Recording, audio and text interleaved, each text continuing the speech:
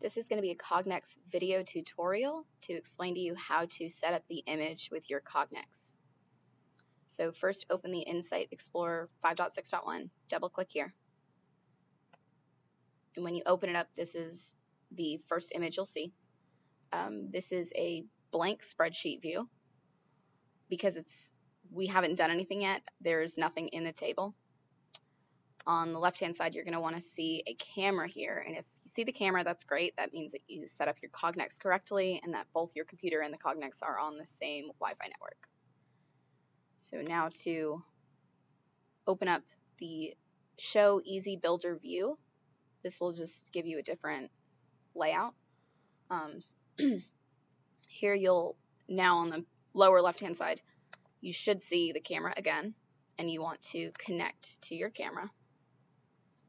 Once connected, you can start a new job, you can open up an existing job, but right now we um we're going to start a new job.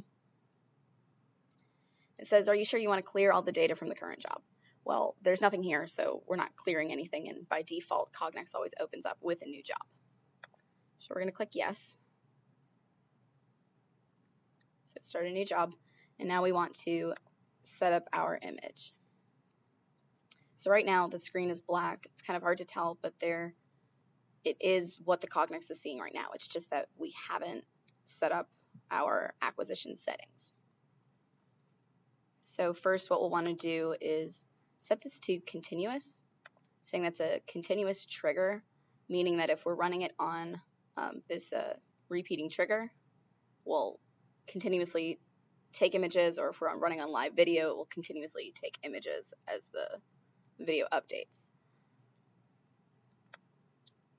So trigger interval, this is fine as is. Exposure is what we're really going to need to change. So depending on the lighting in your area and depending on the um, how many objects or what color background you're using, you'll need to have a higher or lower exposure. I've already set mine up so I know that we need about a 9 and so now you see the workspace we're using, and here's the object we're going to identify.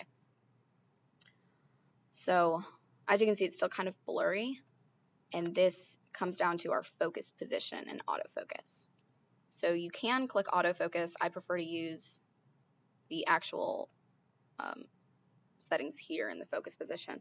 Now to make it even easier, I like to zoom in using one of these. So you can just zoom in a little bit, or you can zoom in to one by one of the workspace.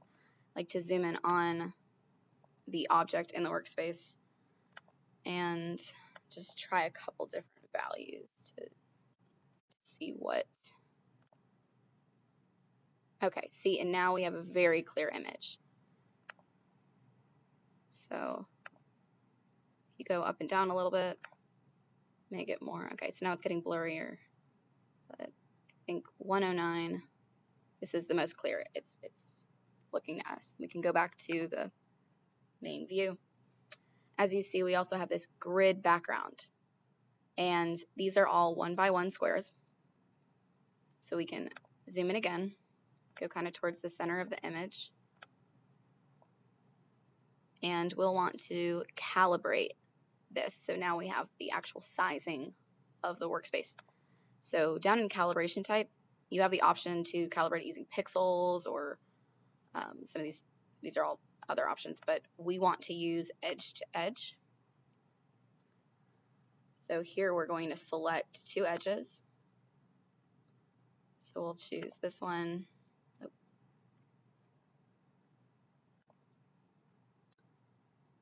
Choose, we'll go with this one and this one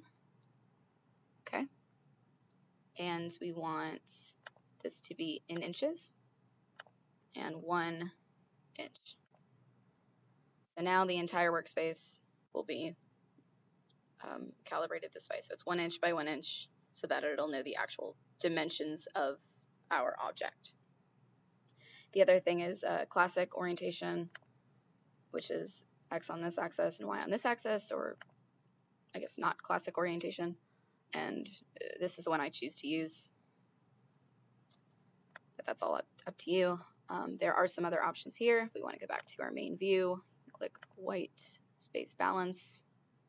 We'll just um, update the image based off the white space. Currently, this isn't really an issue since we have all white space.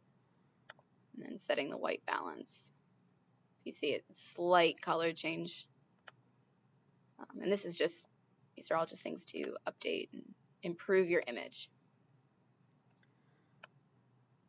So the next thing we'll want to do um, is if this object moves around, so right now I'm on the setting where I have to click the trigger every time something happens. I'm going to move my object, click the trigger.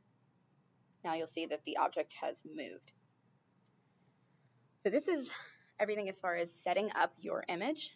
In the next tutorial, I'll explain how to locate and inspect this part.